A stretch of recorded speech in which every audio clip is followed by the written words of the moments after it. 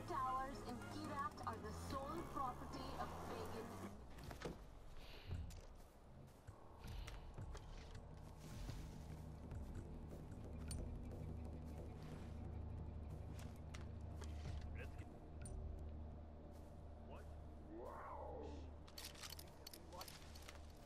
Let's get.